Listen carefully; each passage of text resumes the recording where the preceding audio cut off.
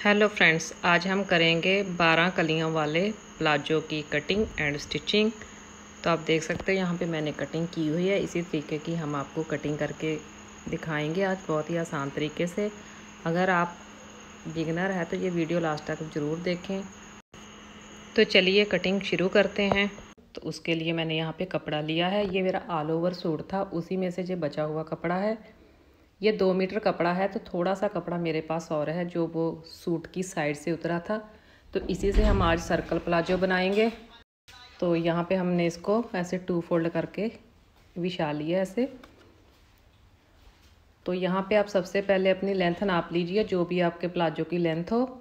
तो यहाँ पे देखिए हम इसके प्लाजो की अपने लेंथ नापेंगे। तो यहाँ पे जो भी आपकी लेंथ हो, आप वो नाप लीजिए। दो इंच ऊपर बेल्ट का जो है, वो कम कर लीजिए।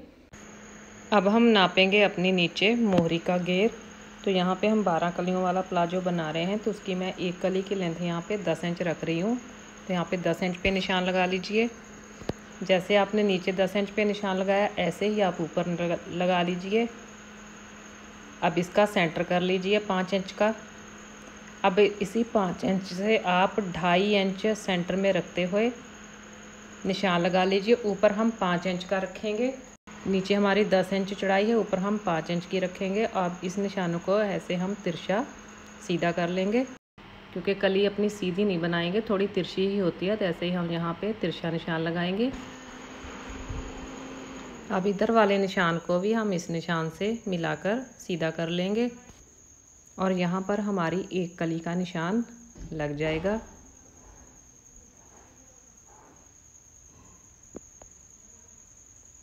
ऐसे ही हम दूसरी कली बनाएँगे। अब हमने यहाँ पे पाँच इंच रखा है और इधर से दस इंच रखा है। अब इधर से हम दस इंच रखेंगे और इधर की साइड हम पाँच इंच रखेंगे। अब इन निशानों को भी हम सीधा कर लेंगे। यहाँ पे भी हम निशान लगा देंगे। तो ये हमारी चार कलियाँ बन गई है। अब ऐसे ही हम इधर से हम दस इंच रखेंगे। और इधर वाली साइड हम पाँच इंच रखेंगे। ऐसे ही हमें एक कली उधर से निकालनी है, एक कली हमें उधर से निकालनी है। तो देखिए, हमने यहाँ पे निशान लगा लिया है तो यहाँ पे हमारी पाँच कलियाँ बन के तैयार हो चुकी हैं, लेकिन अभी हमें छः कलियाँ बनानी हैं। तो देखिए, यहाँ पे हमने पाँच कलियाँ हमारी बन चुकी है। अब हम छवीं कली की कटिंग करेंगे।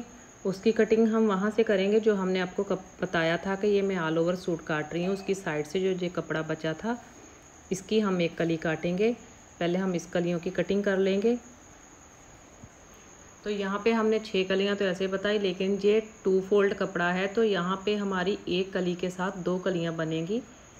तो यहाँ पे पाँच कलियाँ ये मतलब दस कलियाँ हो गई और दो कलियाँ हम उसमें से निकालेंगे तो ये हमारा बारह कलियों वाला प्लाजो हो जाएगा। तो देखिए, यहाँ पे हमने कटिंग कर ली है। अब इसकी जो ऊपर है, इसका हम बेल्ट बनाएँगे और यहाँ पे हम इसको इकट्ठा कर लेते हैं और एक कली हम काटेंगे ये एक्स्ट्रा कपड़े से। ऐसे ही इसको भी हम टू फोल्ड रखेंगे और इसके ऊपर हमने कटिंग की हुई कलियाँ रख के इसको भी इसी शेप में काट लेंगे। फ्रेंड्स अगर आप मेरे चैनल पे नए हो तो प्लीज़ मेरे चैनल को सब्सक्राइब कर लीजिए बेल आइकन को प्रेस कर लीजिए, ताकि हर आने वाली वीडियो का नोटिफिकेशन आप तक पहुँच सके। तो देखिए, यहाँ पे हमारी सारी कलियों की कटिंग हो चुकी है। अब हम यहाँ पे करेंगे अपने आसन की कटिंग तो उसके लिए हमें यहाँ पे चार कलियाँ ले लेनी है। देखिए, हमने यहाँ पे चार कलियाँ ली है, और इसमें से हम करेंगे अपने आसन की कटिंग तो यहाँ से हमें ऊपर से नापना है दस इंच। और यहाँ पे साइड के लिए हम नापेंगे डेढ़ इंच और इनको कर लेंगे सीधा इन निशानों को। और यहाँ पे हम लगा देंगे गुलाई का निशान।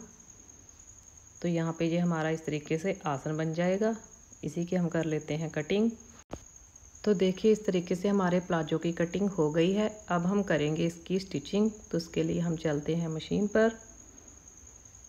तो यहाँ पे हम मशीन पर पहुँच गए हैं। हम यहाँ पे जो भी इसका ऊपर आसन वाला हिस्सा है, चार कलियों का, वो हम इसका अलग कर देंगे।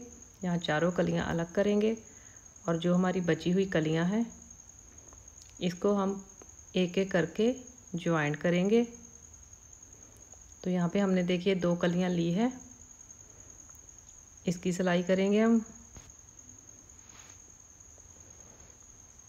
तो हमारी ये सिलाई देखिए कंप्लीट हो गई है। अब हम करेंगे अपनी तो यहाँ पे दो कलियाँ ज्वाइंट हो गए। यहाँ पे हम तीसरी कली साथ में ज्वाइंट करेंगे। तो लीजिए अपनी तीन कलियाँ ज्वाइंट हो गई। अब हम यहाँ पे करेंगे अपनी चौथी कली ज्वाइंट। तो यहाँ पर हमने चार कलियाँ ज्वाइंट कर ली है। अब हमें लेनी है यहाँ पर अपना आसन वाले हिस्सा। जहाँ पे हमने आसन कटिंग की थी, वो वाली कलियाँ। और यहाँ पे हम साइड में करेंगे आसन वाली कली ज्वाइंट। तो यहाँ पे देखिए हमने एक साइड पे आसन वाली कली ज्वाइंट कर ली है। अब ऐसे ही हमें दूसरी साइड पे ज्वाइंट करनी है। चार कलियाँ अपनी यहाँ पे प्लेन थी, सिंपल थी और दो कलियाँ अपनी यहाँ पे आसन वाली होगी तो ये ये यहाँ पर टोटल छः कलियाँ हो गई है। तो ये हमारी एक साइड की कंप्लीट हो गई है। ऐसे ही हमें दूसरी साइड भी कंप्लीट कर लेनी है। देखिए, यहाँ पे मैंने एक साइड कंप्लीट कर ली, ऊपर ही मैंने यहाँ पे दूसरी साइड भी कंप्लीट कर ली। तो यहाँ पे हमारा कलियाँ तो बन के तैयार होगी अब हम यहाँ पे करेंगे अपने आसन ज्वाइंट तो यहाँ पर देखिए, हमने अपने आसन भी ज्वाइंट कर लिए हैं। आप देख सकते हो, आसन भी हमारा ज्वाइंट हो चुका है। अब हमने एक साइड में यहाँ पे एक सिलाई लगाई नहीं थी। यहाँ पे हम लगाएँगे पॉकेट तो हम आपको पॉकेट भी लगाना बताएँगे कि कलियाँ वाले प्लाजो में पॉकेट कैसे लगा सकते हो। तो यहाँ पर आप लीजिए तीन इंच का ऊपर से और नीचे से हम रखेंगे साढ़े चार इंच का और इसको हम ऐसे गोल शेप देंगे। हम यहाँ पे गुलाई वाला पॉकेट लगाएँगे। अब हम लेंगे अपनी पॉकेट का कपड़ा। इसको हम ऐसे फोल्ड करेंगे तो हमारी इतनी लंबी पॉकेट बन के तैयार हो जाएगी। अब हम इसी के ऊपर ऐसे रखेंगे और जहाँ पे हमने नीचे से निशान लगाया है, उसी निशान को हम इसके ऊपर से दोहराएँगे और इसी के ऊपर ही हम लगाएँगे अपनी सिलाई। तो लीजिए, अपनी पॉकेट की सिलाई लग चुकी है। अब हम एक्स्ट्रा कपड़े को अंदर से काट देंगे और जो बचा कपड़ा है उसमें ऐसे कट्स लगा देंगे। अब इसको हम उल्टा करेंगे। और एक सिलाई हम इसके ऊपर से लगाएँगे। तो अपनी ये सिलाई भी देखिए कंप्लीट हो गई है। अब हम यहाँ पे इस तरीके से नहीं, हम इसे उधर से उल्टा करेंगे इस तरीके से। और यहाँ पे हम किनारे पे सिलाई लगाएँगे ताकि जो अपनी सिलाई है, सिलाई होने के बाद ये अंदर चले जाए। देखिए अब हम इसको अंदर के लिए फ़ोल्ड करेंगे। और जो कोने को आप अच्छे से निकाल लीजिए ऐसे कैंची वगैरह से और एक सिलाई हम इसके ऊपर से लगाएँगे ताकि अपनी जो पॉकेट है अच्छे से बैठ जाए। तो यहाँ पे देखिए हमारी ऐसे पॉकेट का फेस जो है वो बन गया है। अब यहाँ पे जो खुला हुआ हिस्सा है, इसको भी हम बंद करेंगे। इसके ऊपर भी सिलाई लगाएँगे। अब जो हमारा जो ऊपर से हिस्सा खुला है, इसके ऊपर भी सिलाई लगाएँगे। तो यहाँ पे हमारी ये जो पॉकेट है, ये बन के रेडी हो गई है। अब यहाँ पर हमने पॉकेट लगाने के लिए जो सिलाई खोली थी, अपनी कंप्लीट नहीं लगाई थी, अब उस सिलाई को हम कंप्लीट लगा देंगे। तो देखिए, यहाँ पे हमारी पॉकेट बन के तैयार हो गई है। अब देख सकते हो, अब हम यहाँ पर लगाएँगे बेल्ट उसके लिए मैंने यहाँ पे कपड़ा लिया है। आप अपनी लास्टिक के हिसाब से कपड़ा लीजिए। मेरी यहाँ पे लास्टिक इतनी चौड़ी है तो मैंने इससे देख लीजिए, आप इतना एक्स्ट्रा कपड़ा लिया है। आप अपनी लास्टिक के हिसाब से कपड़ा ले लीजिए थोड़ा एक्स्ट्रा आप इसको हम लगाना शुरू करेंगे। एक सेंटर से लगाना शुरू करिए, जहाँ एक साइड से, उससे कोई मतलब नहीं है। इसको हम सीधी ओर से लगाएँगे। तो यहाँ पे देखिए, हमने एक सिलाई अपनी कंप्लीट कर ली है। अब हम यहाँ पे जो ज्वाइंट है, इसको पकड़ के इसको भी सिलाई लगा देंगे। तो लीजिए, अपना यहाँ पे ज्वाइंट भी लग चुका है। तो देखिए, यहाँ सीधी ओर से। अब हम इसको ऐसे उल्टा रखेंगे। मैंने इसके अंदर अस्तर लगाया। आप चाहो तो अस्तर भी लगा सकते हो, चाहो तो इसे ऐसे भी सिल सकते हो। मेरा थोड़ा ये कपड़ा पतला था तो मैंने इसलिए इसके प्लाजो के अंदर अस्तर लगाया है। तो आप, मैंने यहाँ पे लास्टिकली इसको आप अच्छे से ऐसे पक्का ज्वाइन कर लीजिए और अंदर से ऐसे रखते हुए। यहाँ पे हमने वो सिलाई, बाहर वाली सिलाई आपको दिखाई थी, उसी सिलाई के ऊपर हमें ये सिलाई लगानी है। आगे पीछे नहीं लगानी है, नहीं तो अपनी लास्टिक देखने में बिल्कुल भी अच्छी नहीं लगेगी। तो हमें ऐसे ही पूरी सिलाई कंप्लीट कर लेनी है, ऐसे ही। तो यहाँ पे देखिए अपना कपड़ा है, वो बड़ा होगा, लास्टिक अपनी छोटी होगी तो उस लास्टिक को इस तरीके से आप खींच खींच के आगे पीछे कर लीजिए और लास्टिक निकाल के ऐसे खींच खींच के अपनी लास्टिक को पूरा कर लीजिए। देखिए यहाँ पे हमने एक सिलाई लगा ली है।